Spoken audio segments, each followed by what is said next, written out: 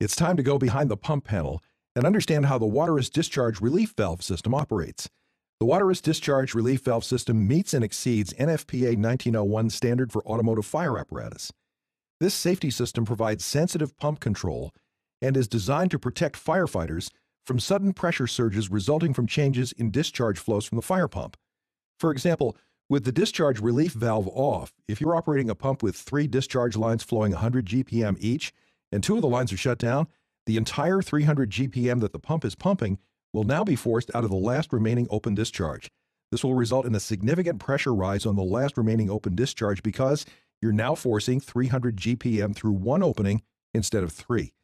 Designed with a built-in memory, this system has a wide continuous range of pressure control from a minimum of 75 psi to a maximum of 300 psi depending upon pump performance characteristics. Its unique design allows the system to be taken out of operation without disturbing the pressure setting. This allows the apparatus operator to leave the system at a preset, ready-to-use pressure setting. The Waterous discharge relief valve system consists of two main components. The first is a panel-mounted pilot valve, which hydraulically controls the operation of the relief valve system. The second component is the discharge relief valve, which is mounted to the discharge and intake fittings. The discharge relief valve body supports the internal components of the discharge relief valve. 1. The main valve is made of bronze and opens and closes based on the position of the discharge pilot valve control lever and the current discharge pressure within the pump. As the main valve opens, excess water pressure is bypassed from pump discharge to pump intake. The purpose of the main valve spring is to assist with maintaining the main valve open when in operation and hold the main valve in a closed position when the centrifugal fire pump is not in operation. This minimizes the potential for damage to the seat and main valve as the apparatus is traveling from destination to destination. 3. The actuating rod is used to control the indicating lights. The actuating rod spring returns the actuating rod to the closed position as the main valve closes. The pilot valve has two controls, one to adjust the discharge relief valve operating pressure, and the second is an on-off control used to place the relief valve system in or out of service. 1. The pilot valve handle control is used to adjust the operating pressure that the discharge relief valve opens at. Turning the handle clockwise increases the discharge pressure and counterclockwise decreases the discharge pressure setting. 2.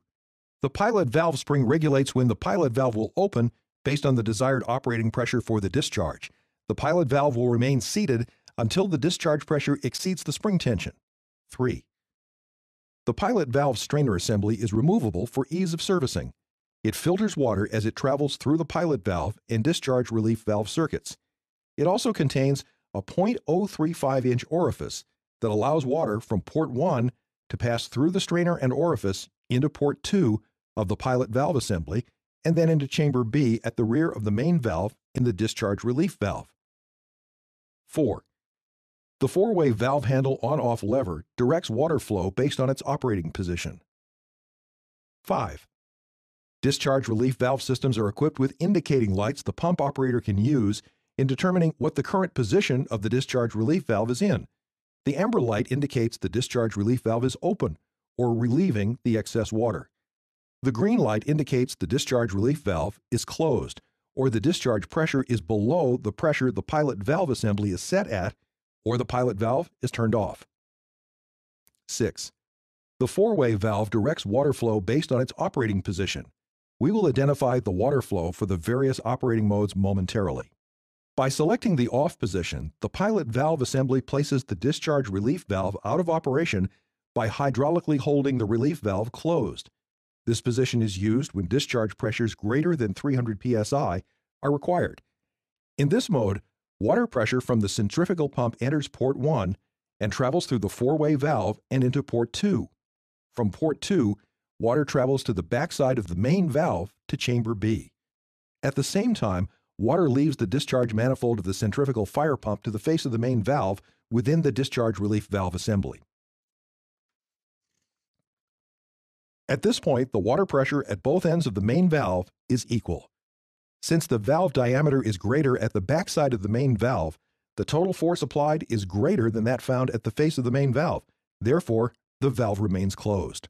When the pump operator selects the on position, the discharge relief valve system is in a ready position, and at this point, the water pressure is less than the pilot valve assembly is set at. In this mode, water pressure from the centrifugal pump enters port 1 of the pilot valve and travels through the four-way valve and into port 2. From port 2, water travels to the backside of the main valve to chamber B. At the same time, the water leaves the discharge manifold of the centrifugal fire pump and enters the face of the main valve. At this point, the water pressure at both ends of the main valve is equal, and the main valve remains closed. When the pump operator selects the on position, the discharge relief valve system begins in a closed position. When the pump discharge pressure at the pilot valve exceeds the compression load of the pilot valve spring, the pilot valve unseats, and water is allowed to escape through port number 3 to the intake side of the centrifugal pump. A regulated amount of water that was previously trapped in the circuit of port 2 and chamber B also passes through port 3 to the intake side of the pump.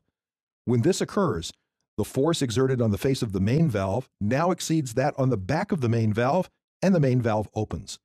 When the pressure at the face of the pilot valve exceeds the compression load of the pilot valve spring, the pilot valve will only open far enough to allow the pressure to equalize.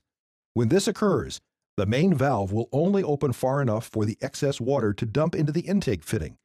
Once the discharge pressure drops below the compression load of the pilot valve spring, the pilot valve will reseat and stop the flow through port 3, allowing discharge pressure to build up in chamber B and reclose the main valve.